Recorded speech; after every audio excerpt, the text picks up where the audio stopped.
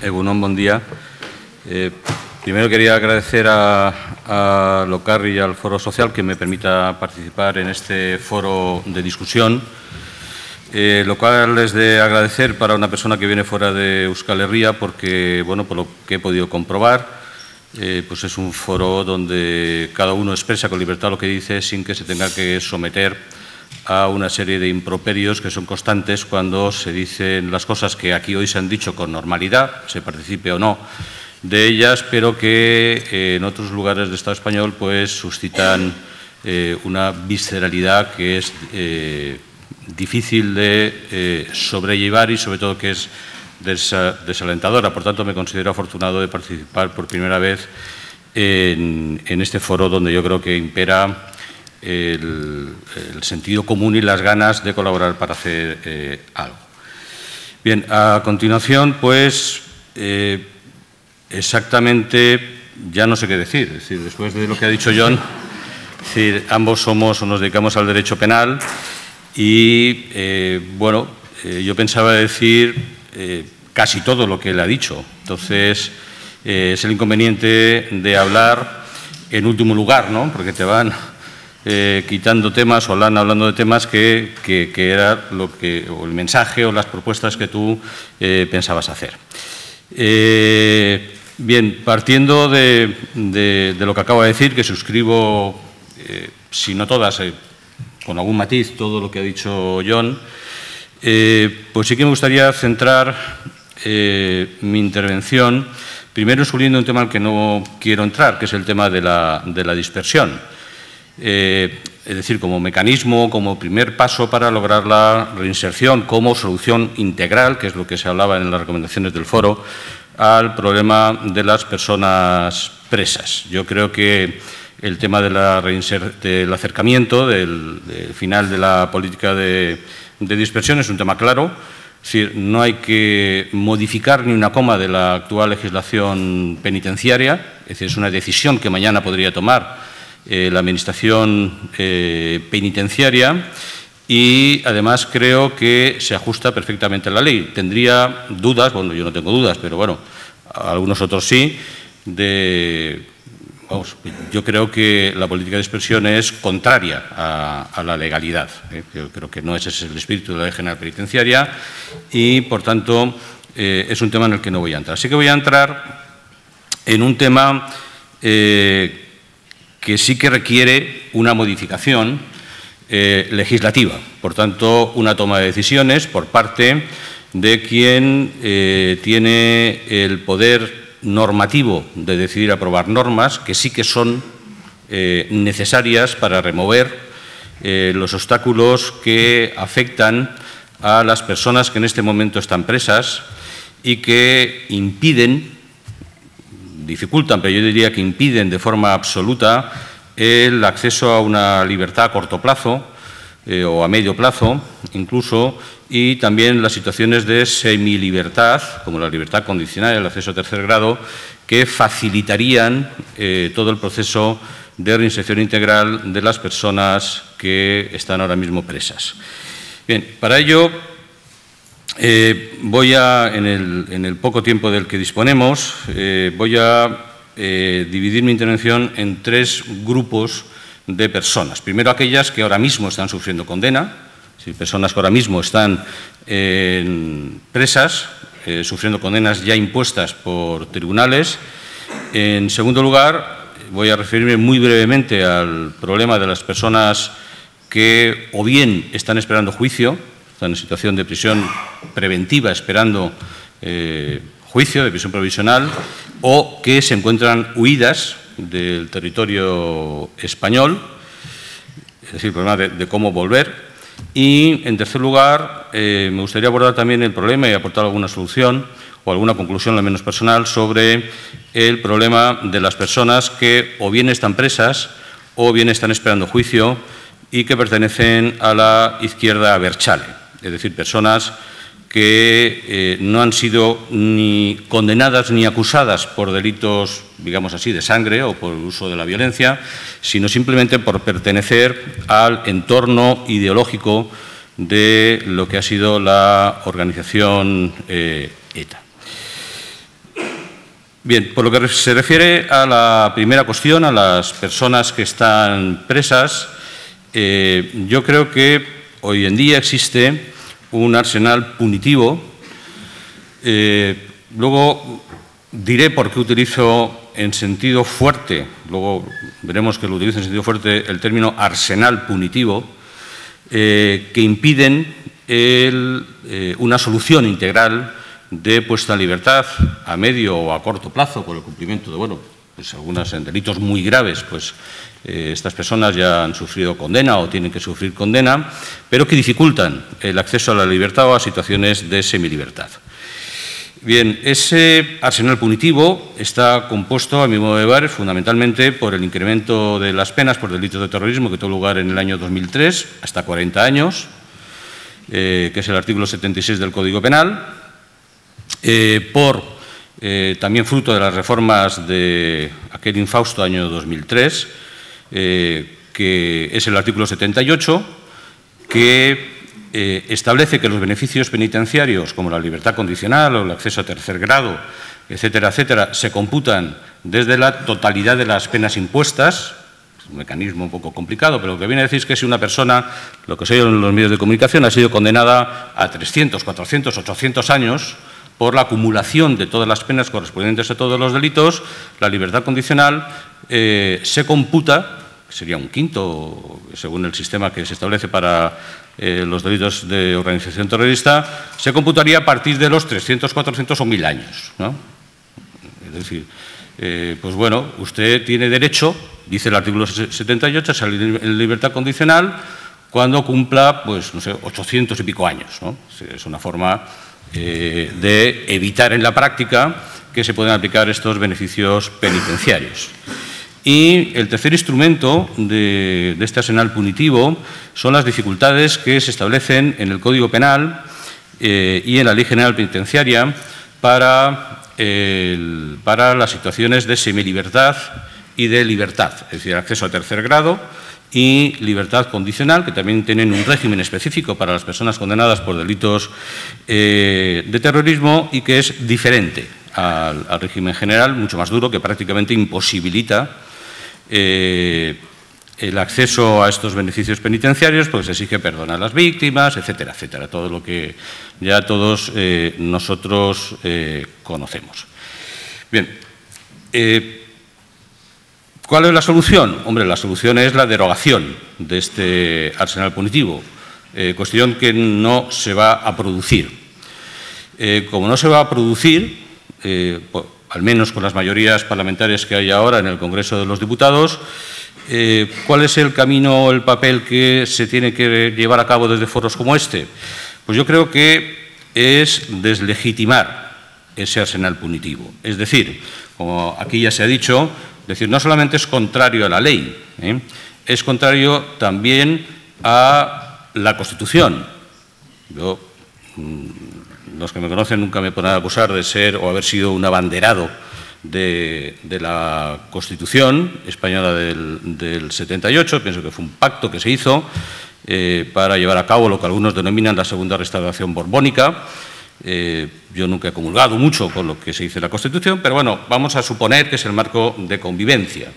Eh, los partidos que sostienen fundamentalmente esta segunda revolución, esta segunda restauración borbónica, pues eh, mantienen que es un pacto fundacional, que hay que respetar, se le llena la boca con la Constitución, etcétera, etcétera. Pues bien, a mi modo de ver, eh, la función que se tiene que hacer desde estos foros es decir, miren ustedes, si ustedes respetan esto como una realidad sacrosanta, los derechos fundamentales de la Constitución, etcétera, etcétera, sepan ustedes que este arsenal punitivo, que este arsenal punitivo viola directamente lo que dice esa Constitución que ustedes eh, respetan como un marco esencial de convivencia. Es decir, yo creo que tiene que haber eh, cada vez más eh, una presión en este sentido, es decir, de hacer llegar a la opinión pública que lo que se está haciendo es contrario a una serie de principios que la propia Constitución eh, reconoce. Y voy a eh, ofrecer tres argumentos que yo creo que deberían cada vez extenderse más. Deberíamos todos colaborar para que esto eh, se extendiera. primer argumento de por qué considero que es no ya contrario a los pactos internacionales, etcétera, etcétera, sino a la propia Constitución que dicen defender los partidarios del sistema. Primero, la Constitución establece un sistema de suspensión de derechos fundamentales. En el artículo 55.1, para los estados de alarma, excepción y sitio, y en el artículo 55.2, para las actuaciones contra bandas y organizaciones de carácter terrorista. La propia Constitución, y mucho más claro en el caso más grave, que es la declaración de los estados de alarma, excepción y sitio, considera que son medidas excepcionales de carácter temporal.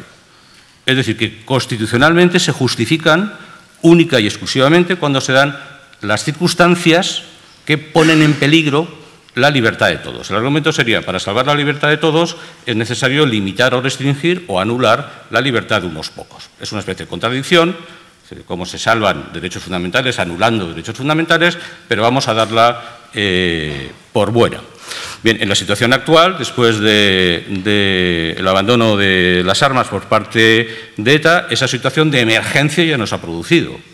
Por tanto, el legislador está obligado constitucionalmente a volver, por decirlo así, a la normalidad constitucional, es decir, a la derogación de todas aquellas normas constitucionales que yo creo que nunca tuvieron justificación, pero vamos a dar por bueno que la tuvieran, que en algún momento fueron eh, motivadas por la existencia de la organización eh, ETA. Bien, constitucionalmente no se puede mantener eternamente un estado de excepción, ¿eh? un estado de excepción como el que se prevé en estas normas. La Constitución, a mi modo de ver, no lo permite.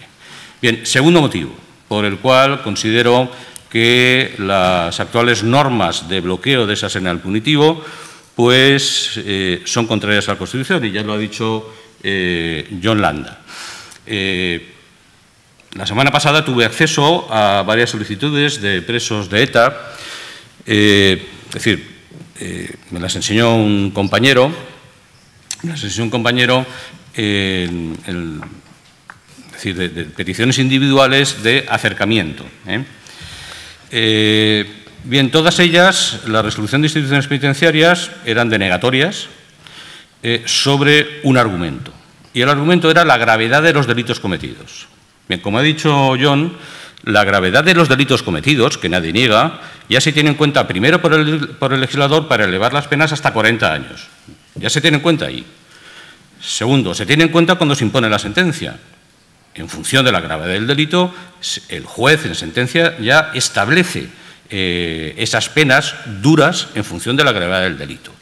Por tanto, llegamos a la aplicación de la pena, al sujeto que está cumpliendo la pena. En ese momento la gravedad del delito ya no juega. Es decir, ya ha sido tenido en cuenta, no la podemos volver a tener en cuenta otra vez para el cumplimiento. Es decir, ¿qué debe primar en el momento, qué debe primar en el momento de la, ejecución de la pena? Deben primar los criterios de reinserción social. Es decir, el sujeto está en condiciones, lo, que trata de, evitar eh, la finalidad de la pena de la prevención especial, como explicamos eh, a nuestros estudiantes de Derecho, es que el sujeto que ha ingresado por un delito muy grave salga sin posibilidades de reincidir. Es decir, eso es lo que trata el tratamiento penitenciario, eso es lo que establece el artículo 25.2 de la Constitución y eso es lo que desarrolla la ley y el reglamento penitenciario que el sujeto que ha ingresado por delitos muy graves salga en condiciones o con las garantías suficientes de que no va a volver a reincidir. Desde el momento en que la organización eh, ETA ha dejado las armas, la posibilidad de reinserción es nula. Por tanto, no hay ningún motivo, no hay ningún motivo desde el punto de vista constitucional, artículo 25 y otros preceptos, no hay ningún motivo para seguir manteniendo mm, esos obstáculos penitenciarios que impiden el acceso a la libertad condicional o el acceso al tercer grado eh, penitenciario, que es una situación de semi-libertad. ¿eh? Eh, hay un tercer argumento que paso a decir brevemente, que obligaría al legislador, no es que fuera una iniciativa, es una exigencia de la Constitución, es decir, el partido que tiene hoy en día mayoría parlamentaria estaría obligado constitucionalmente a tomar la iniciativa de derogar todo esto. El tercer argumento sería el principio de igualdad, también se ha dicho aquí. ¿eh?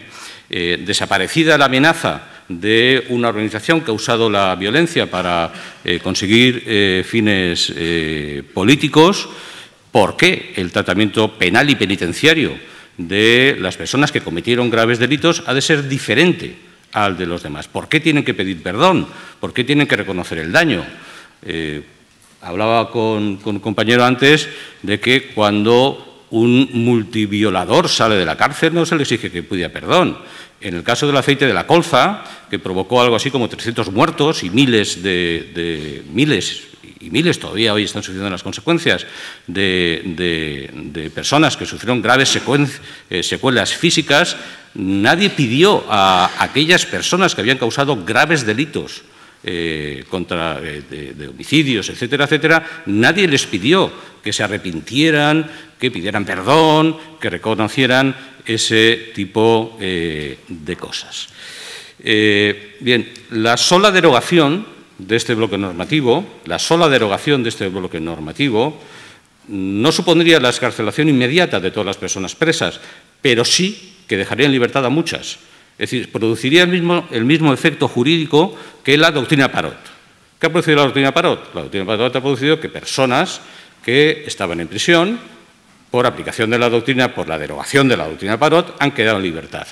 Pues bien, la derogación de este bloque, acortamiento de penas, acceso a las situaciones normales de libertad condicional, etcétera, etcétera, permitirían del colectivo de 500 presos que hay hoy en día o bien la escarcelación definitiva o bien el acceso a situaciones de semilibertad, no he cuantificado el número, pero de un gran número de personas, lo cual contribuiría a eh, solucionar el, problema. Eh, se ha planteado aquí, y en esto yo sé que introducía alguna, ya sé que me estoy pasando el tiempo, pero voy a pasar tres minutos más si, si me lo permitís. ¿no? Eh, ya sé que se ha hablado aquí el tiempo, y aquí eh, discreparía un poco de John, eh, sobre el papel de la petición de perdón, del reconocimiento del daño, etcétera, etcétera. Bien, yo creo que eso está muy bien, pero en otro ámbito. Yo creo que el derecho penal tiene una función mucho más limitada. Yo concibo el derecho penal como un instrumento aflictivo, es decir, como un arma. Por eso antes hablaba en sentido fuerte del término arsenal punitivo. Es decir, una organización terrorista usa pistolas y usa bombas. El Estado, en esa guerra, usa el arsenal punitivo que tiene, es decir, la pena como instrumento de lucha contra el adversario, en este caso. Dejo fuera el instrumento que utiliza el Estado de la violencia directa a través de las cloacas del Estado. Dejo al margen lo que es eh, los grupos parapoliciales, la tortura, etcétera, etcétera pero, por decirlo así, las armas legales con las que lucha el arsenal punitivo con el que lucha el Estado es este. Eh, para desarmar este arsenal punitivo, yo creo que el derecho penal única y exclusivamente debe exigir el abandono de la violencia, el abandono de las armas, punto. Creo que es necesario también que luego en otros ámbitos se produzca todo ese proceso de petición de perdón, de acercamiento, de reconciliación, de reconocimiento del daño, en el sentido que decía antes eh, Rafa Seinredozas, etcétera, etcétera. Pero el derecho penal tiene una función mucho más limitada. Es decir, tú dejas tu arsenal, que son las pistolas, yo dejo mi arsenal y vuelvo a los instrumentos habituales para combatir, para combatir este y cualquier otro delito. ¿Eh? Bien, ya muy rápido. Eh, segundo bloque de personas, personas pendientes de juicio y personas eh, huidas. Obviamente no podemos esperar tampoco las vías que se utilizaron en un proceso eh, que se produjo aquí con ETA político-militar, que se establecieron soluciones para la reintegración de este tipo de personas pendientes de juicio o huidas. obviamente eso no se va a producir, pero yo sí que exploraría y también yo creo que lo, hemos hablado, es decir, yo creo que cabría reinterpretar este tipo de normas, eh, que es el artículo 579, que es un eh, gran olvidado, el párrafo cuarto, que permite eh, la rebaja en uno o dos grados de entrada, la rebaja en uno o dos grados, lo cual es, es un beneficio considerable.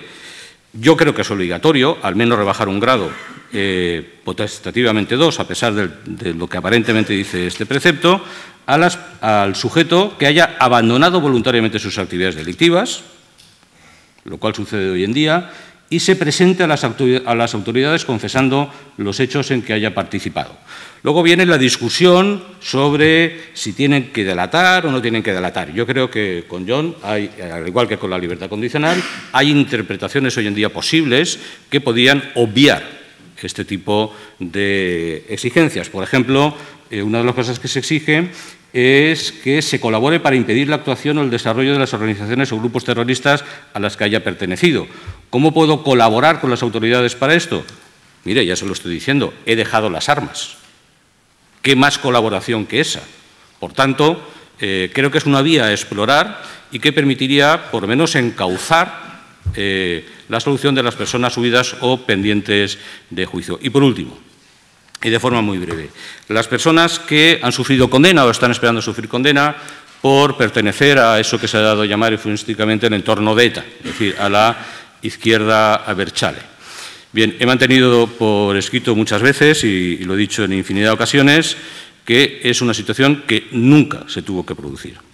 Es decir, que eh, todos los procesos, desde el proceso, desde el sumario 1898, pasando después por por eh, los casos de, Ascatasuna, de eh, Segui, etcétera, etcétera, todos los que han venido después, eh, son procesos que se instruyeron al margen de la ley y obviando cualquier tipo de garantía y con no solamente lo típico en nuestros procesos, sino también, eh, al margen de la ley, me refería también con graves defectos procesales, como las pruebas de inteligencia policial, etcétera, etcétera. He mantenido también, muchas veces, que aquellos jueces que instruyeron esos procesos eh, no solamente actuaron al margen de la ley, sino que además actuar al margen de la ley, en este sentido, eh, pues en derecho penal tiene un nombre, que es prevaricación.